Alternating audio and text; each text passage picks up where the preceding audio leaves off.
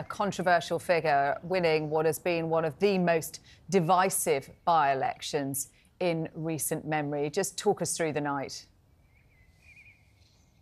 Definitely. I mean, really quite an astounding by election. I don't think there's any other way we can really put it. So, George Galloway taking a really quite easy win in this by election, securing pretty much double the amount of votes than the candidate who came in second place.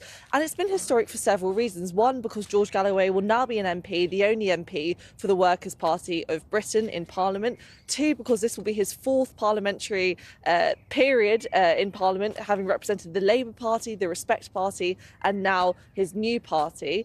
And secondly, also because of the candidate who came in second place. This was an independent candidate, so not affiliated to a party. And it's absolutely pretty much unheard of that this would happen, that both Labour and the Conservatives are really out of the question coming in third and fourth place. So, really quite a historic by election for several reasons. Alicia, there have been some complaints from uh, a, few of a few of George's rivals that it hasn't been exactly a fair and clean contest. There's been some dirty tactics involved. Can you tell us a bit more about that?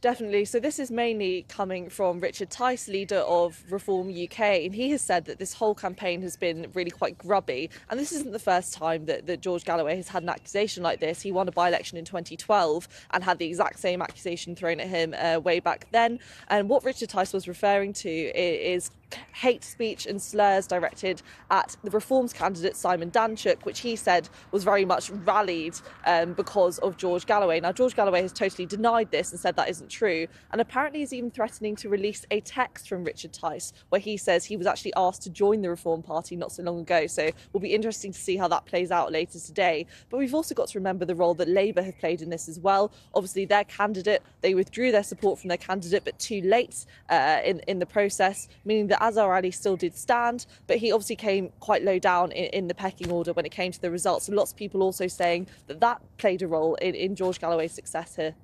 Uh, we heard a short extract uh, of the speech, uh, Alicia, at the beginning of the programme, but George Galloway really uh, has it in for Keir Starmer, uh, doesn't he? Really went for him, describing him as a betrayer. He's out to cause trouble. How difficult is this going to be for Labour?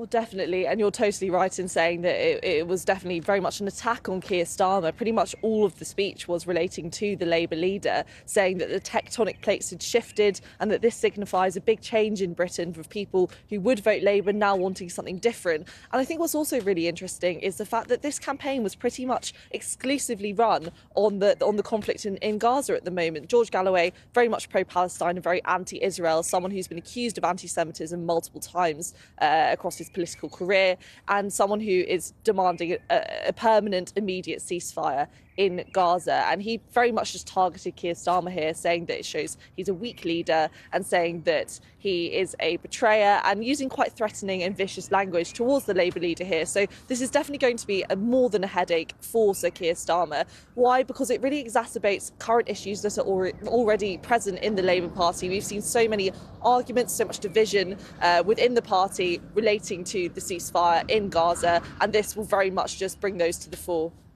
But Alicia, we say that it's been uh, Gaza's been a, a, big issue for them, but Galloway did campaign on some local issues. He's going to clear out the local councils apparently, and the, the candidate who came second, David Anthony Tully, an independent local businessman involved with the local rugby club. So I feel like actually local issues have played a big part in the results.